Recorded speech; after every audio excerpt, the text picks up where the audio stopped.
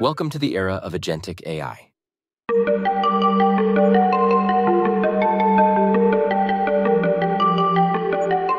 In the rapidly evolving world of artificial intelligence, something new is emerging agentic AI. Unlike traditional AI that merely processes data and provides outputs, agentic AI can understand, think, and take actions on behalf of users. Recently, Google unveiled Gemini 2.0 a groundbreaking AI model that exemplifies the potential of agentic AI, and soon, OpenAI, the company responsible for the popular model ChatGPT, will be releasing their agent dubbed Operator, and set to be released later are Project Astra, Mariner, and Jules. These developments will change the world as you know it. You are now in the third wave of AI, agentic AI. Gemini 2.0 Google's model to welcome you to what they call the agentic era can perform tasks that once seemed impossible. Agentic AI is still in its early stages of development, but so far, here is what it can do. The evolution of artificial intelligence has unfolded in three debatable waves of innovation. In the first wave, predictive AI emerged as a powerful tool, empowering businesses to anticipate future trends and make informed, data backed decisions. An example of this is Amazon using AI to suggest products you might like based on your past purchases. Following this came the second wave with the rise of generative AI like ChatGPT, a breakthrough that enabled machines to create novel content and engage in surprisingly human like conversations. You could generate images, video, and audio. Now, a new tide is rising. Genic AI, poised to transform the landscape by granting AI systems the autonomy to not only think and create, but to act, executing tasks independently and even collaborating with other AI agents. Imagine having a digital coworker who can understand you perfectly and help you with your tasks. Think of something close to Jarvis from Iron Man. It can process multiple types of input, including text, images, audio, and video, and generate corresponding outputs. This is known as a multimodal AI. Let's put this in simple terms. What does this look like practically? It means it can watch and understand a video much like a human would. Imagine a robot friend sitting beside you watching a basketball game. This friend, powered by Gemini 2.0, can not only see the players and the ball, but also comprehend the game's dynamics. It can identify players, track their movements, and even anticipate their next move based on their positions and the game's context similar to humans. Gemini, what is happening in this video? LeBron James is dribbling the ball down the court, guarded by Stephen Curry. James is driving towards the basket. He's likely to attempt a layup or pass to a teammate. The Warriors are double teaming James, forcing him to pass the ball. This is a classic defensive strategy. The crowd is going wild. It seems James just scored a three pointer. This ability doesn't just exist for uploaded videos, but also with live video. It can process live video as it's happening and talk to you about what is happening where you are, the same way a human is seeing the outside world and communicating with it. Hey, Gemini. Hey there, what's on your mind today? Can you see what I'm showing you? Yes, I can see the video you're showing me. It looks like you have an espresso machine. Yeah, I'm new to this machine and I'm having trouble grinding beans. Can you help me out? Sure, I can help with that. What seems to be the issue with grinding the beans? I'm used to espresso machines that have a grind button, but this one doesn't. How can I grind the beans with this machine? Ah, I see. Well, based on the video, it looks like you need to press the portafilter against the button beneath the grinder to start the grinding process. Have you tried that? No, I haven't. Give that a try and let me know what happens. Sometimes these machines have quirky little ways of working. Okay, I see that the grinder activated. Is it grinding the beans to your liking? Yeah, looks great. Thanks, Gemini.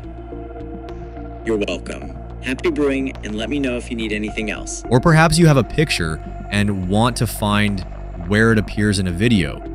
It has the ability to scan the entire video and tell you exactly what time the image you are searching for was found, and describe what objects are in that image and what actions are happening. With just one prompt, it gives you detailed descriptions, like one of the foxes climbs on the rock. Mountain lion walks through the forest in black and white. Mountain lion. It even figures out in this shot that the foxes are playing with each perfect. So you can use this tool to quickly perfect. Say you have a wall of post it notes from a brainstorm that you need to manually transcribe and organize one by one. You could take a quick video sticky notes. We ran this prompt and Gemini 2.0 Flash transcribed all of them in just a few seconds. You can even ask the model to sort them into categories and put it in a table. The model looks across all the names, comes up with possible categories, and sorts them for you, with lots of screen recordings like this one that you have to manually comb through.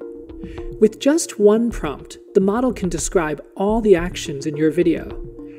It gives you exact time codes of user events, like clicking, scrolling, and more, you can share your computer screen with it and have a conversation with it back and forth as it guides you on what steps to take. Yes, I see your screen. It's showing a document with the title Demo. It also contains bullet points and a Google Meet window with a person in the video. Is there anything in particular you would like to talk about on the screen?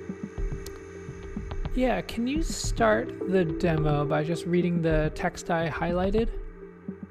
Sure, I can do that. The text you highlighted reads, The Multimodal Live API lets you build real-time multimodal applications powered... I see that you are looking for the YouTube thumbnail option. In the popular section, on the first row, fourth option from the left, there's an icon that says YouTube thumbnail. You can It can give you that. strategy in video games.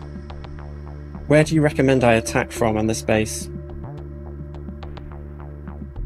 Given the base layout, I recommend attacking from the bottom or south side. This direction allows you to target the town hall directly with your giants, while the wizards can handle the surrounding defenses. And one of the most remarkable aspects is its enhanced memory. Instead of starting from scratch every time you engage with it, it's like picking up a conversation with a friend where you left off. It remembers your preferences, your interests, and even the nuances of your previous exchanges.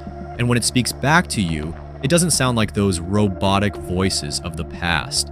Google is launching multilingual native audio, allowing the AI agent to speak in a very human tone with distinctions, whispers, emotions, all of it And it has the ability to switch and speak different languages. Okay, so I'm starting out speaking English, but then Maintenant, je parle français. 그리고 이제 저는 한국어를 말하고 있습니다. पर अब मैंने हिंदी बोलना शुरू कर दिया है. E adesso magari What's proverò even con un more po' di- astounding is it has the ability to detect your context.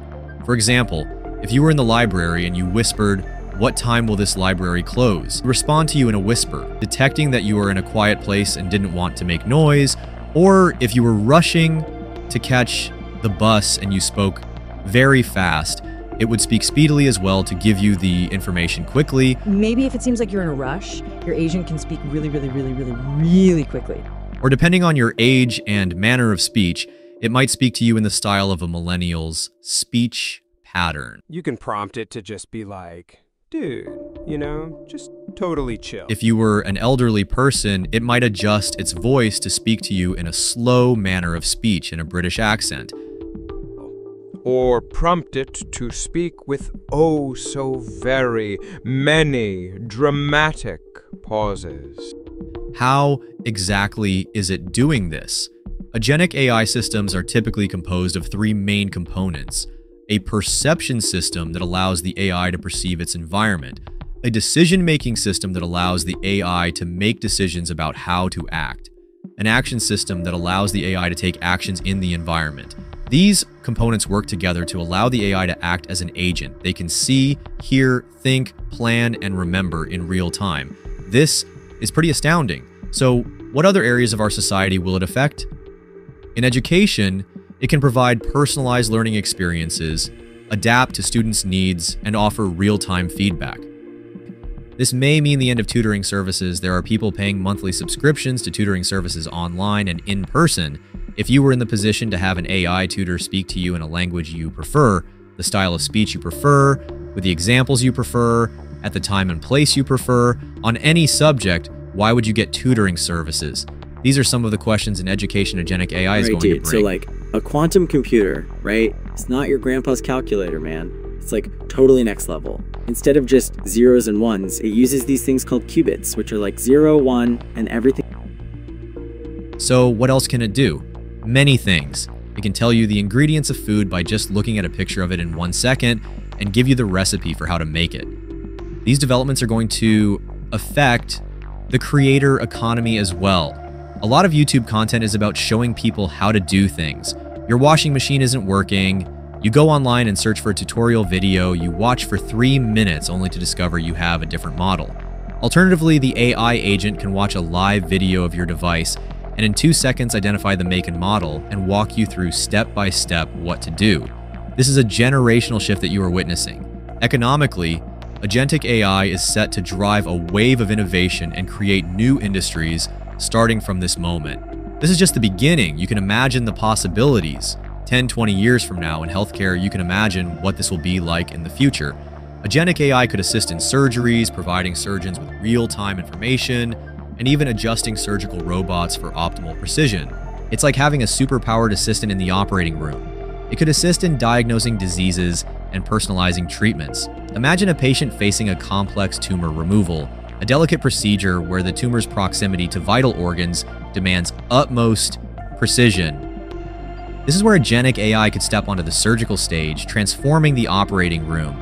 Before the first incision, the AI agent could meticulously analyze the patient's medical scans, CTs, MRIs, constructing a detailed three-dimensional virtual replica of the tumor and the surrounding anatomy.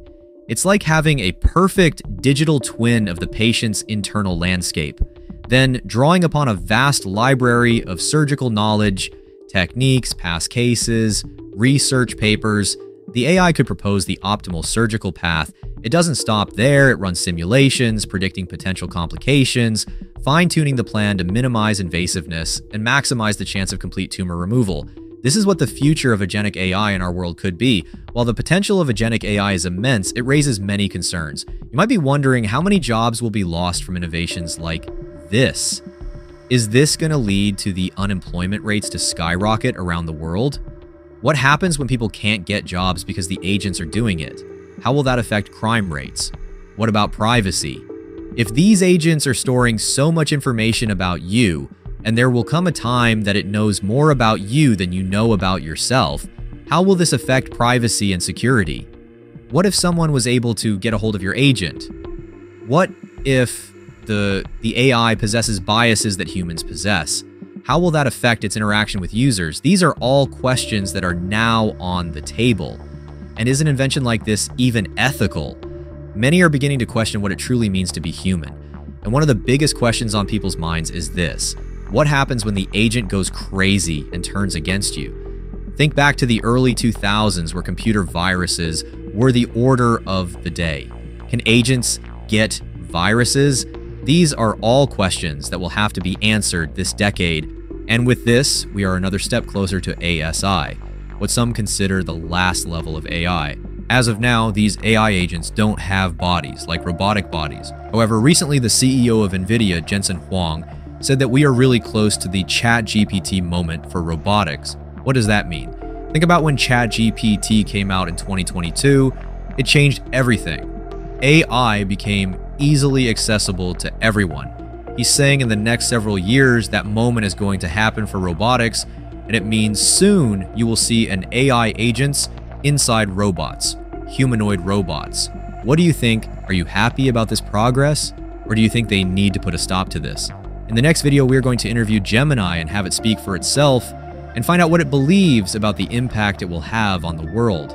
Agentic A, I will change the world as we know it, and the change has already begun. If you found this interesting, subscribe to our channel to explore all the whys of the world, and hit the like button to stay updated on our future content. See you in the next one.